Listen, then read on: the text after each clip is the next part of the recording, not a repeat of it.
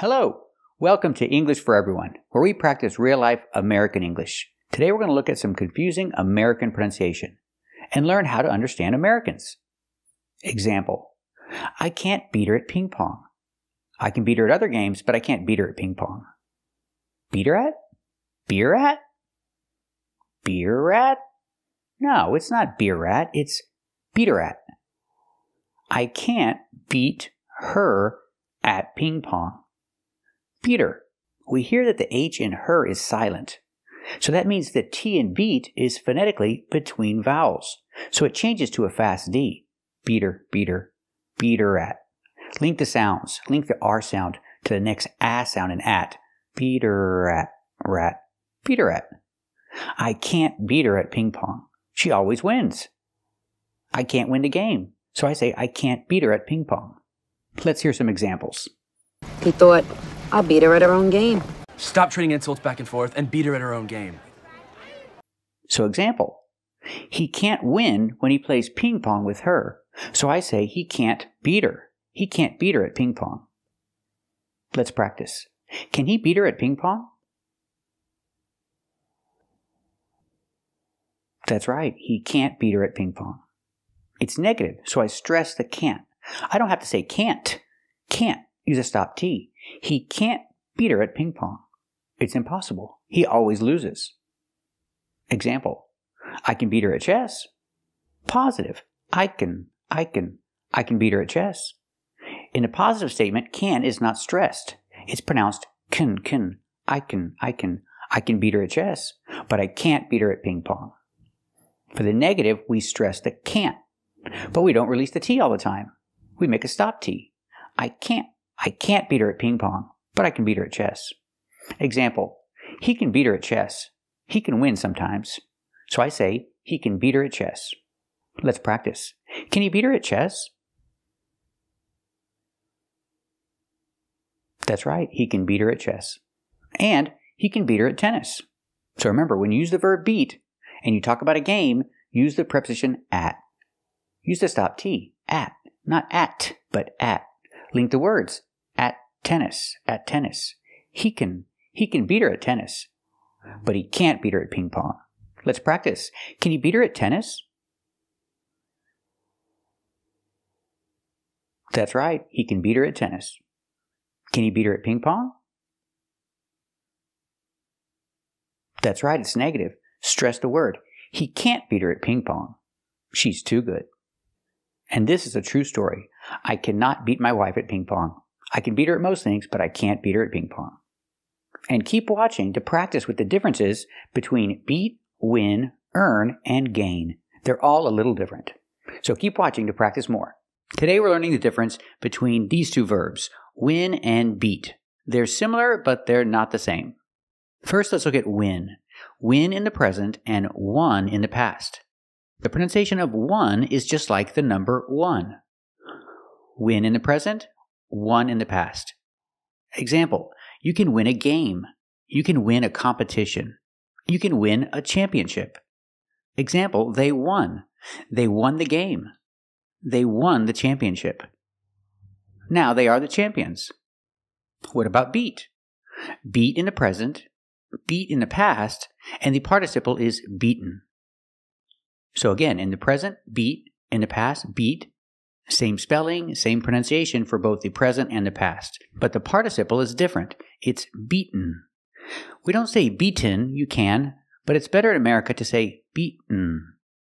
Make that T a stop T, stop the air, beat, and then fall to the end. Beaten. Example, the blue team beat the red team. I cannot say the blue team won the red team. We have to use beat in this case. Beat is the same as defeat. Defeat in the present, defeated in the past. I can say the blue team defeated the red team. It's the same idea, but I cannot use win. So in the past, the blue team beat the red team. The blue team won the game. Why can't I beat you at this game? I beat you.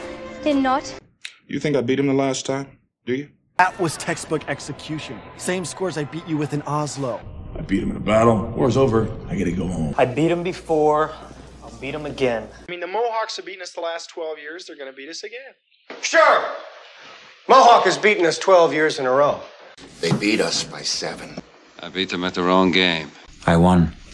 I beat them all. The Soviets have beaten us at every single major space accomplishment. Let's practice. Who won the game? Did the blue team win the game? That's right, the blue team won the game. Let's practice with beat. Did the blue team beat the red team? That's right, the blue team beat the red team. Now let's talk about a race. He won the race, the guy in the white shirt. Win in the present, won in the past. He won the race. So we can use win when you talk about a race, a championship, a game, a competition.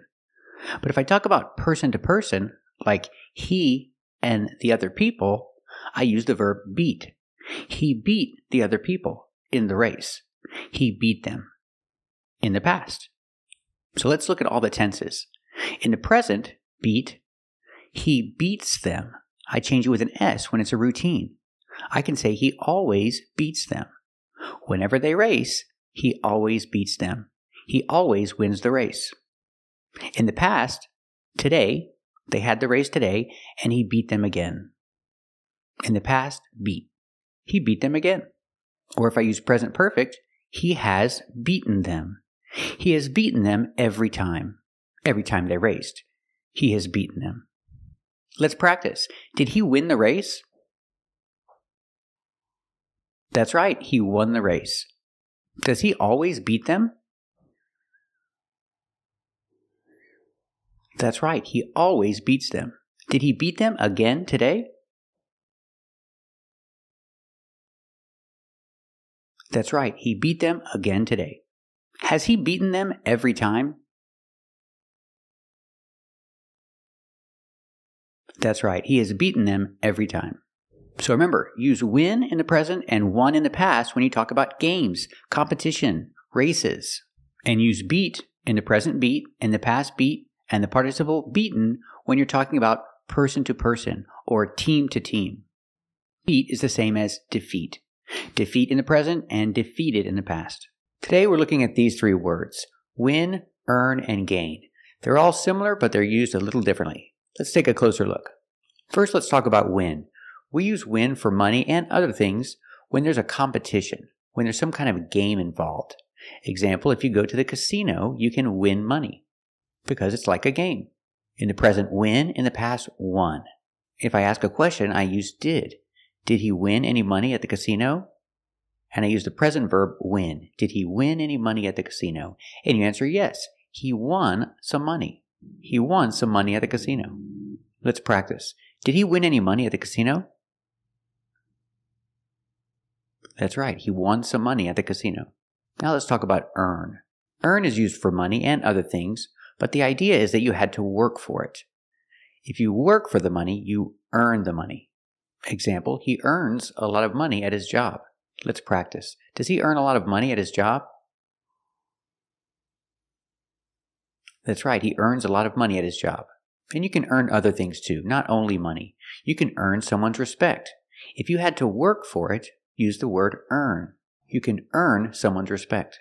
And now let's talk about gain. It can be used for many things, but the most common is weight. We say you gain weight. When you get bigger, you gain weight. Example, he was thinner before, but now he's bigger. He gained a lot of weight. Let's practice. Did he gain a lot of weight? That's right, he gained a lot of weight. So the most common example of gain is weight. We do use it for other things, like you can gain perspective or you can gain an advantage, but weight is the most common. And remember, gain is not used for money, it's used for things. So remember, if you're talking about money, use win or earn. Win if it's a game, and earn if you have to work for it. And gain is most commonly used for weight. Thank you for watching, and if you like this video, subscribe to our channel. And if you want to become a member, click the join button. And we'll see you next time.